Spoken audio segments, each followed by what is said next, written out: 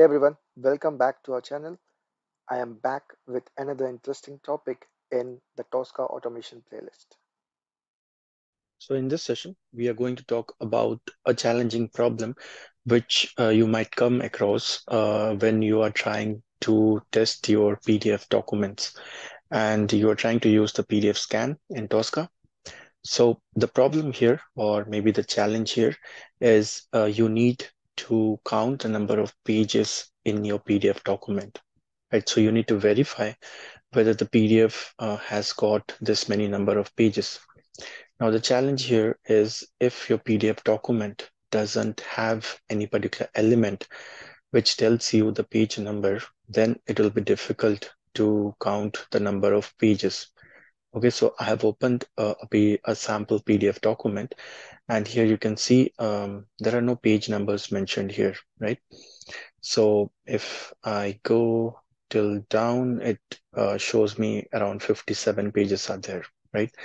And that uh, you can count through the PDF uh, application, but the actual PDF doesn't have any header or footer mentioning the page numbers, right? So here we need to count the number of pages, uh, which is 57. Um, and then maybe we can verify that or buffer that, um, and that's our requirement.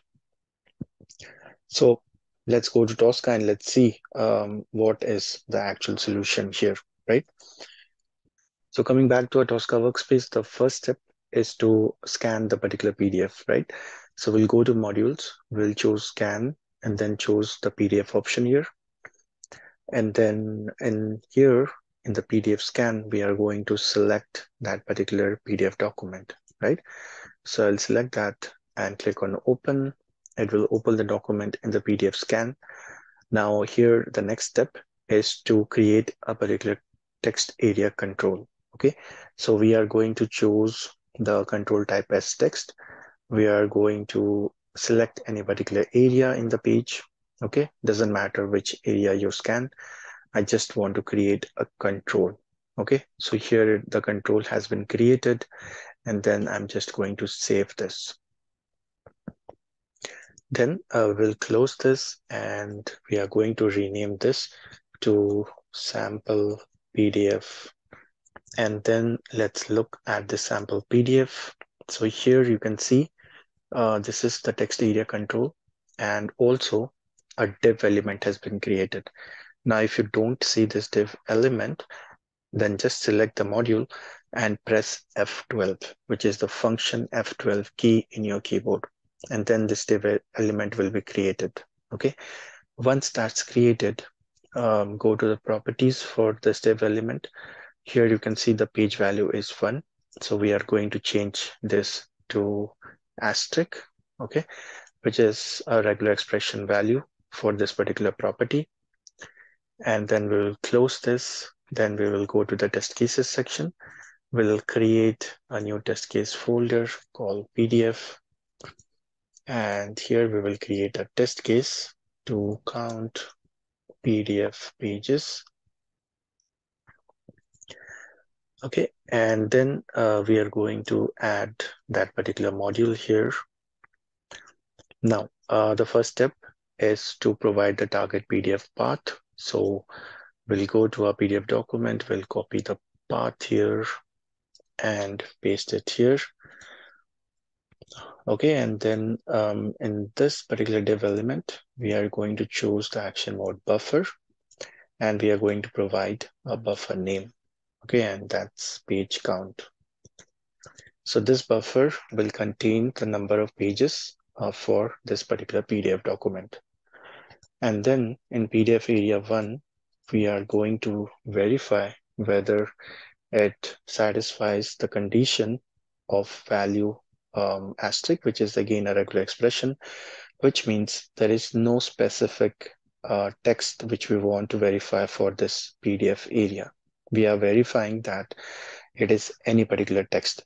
Uh, it doesn't matter. We want to get the count of the pages in the PDF document. Okay, so what it will do is it will go through each page.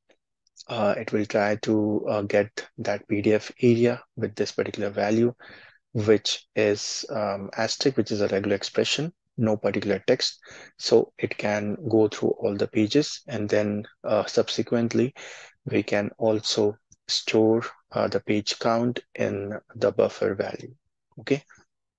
So now let's see whether it's working or not. So let's change the work state to completed here.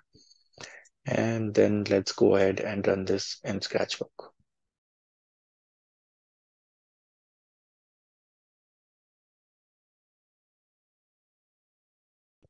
Now it might take some time depending on the number of pages in your PDF document, right?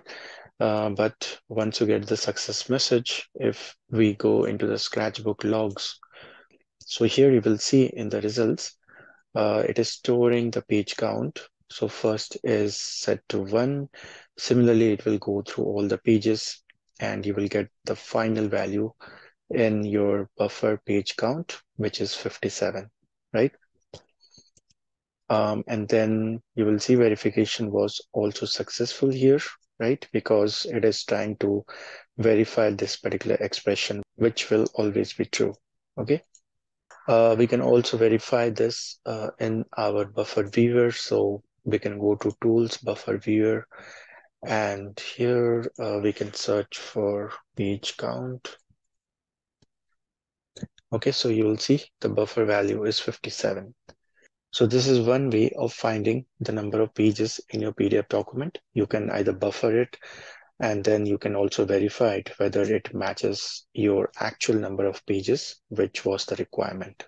Now the other way around to do this is if you have got a PDF document where your header or footer contains that particular page number for each page in your PDF document, you can just scan that particular control okay and then uh, you can buffer that particular value when you are going through each page. So you can mark it as a repetitive area in your pdf scan document and then uh, you can run that and that will provide you um, the number of pages in your pdf document. So these are two ways through which you can solve this particular problem where you have to verify the number of pages uh, in your pdf documents. That's all for this particular video. If you have any questions, then please leave it in the comments. If you like this video, then please subscribe to our channel. Thanks for watching and I will see you in the next video.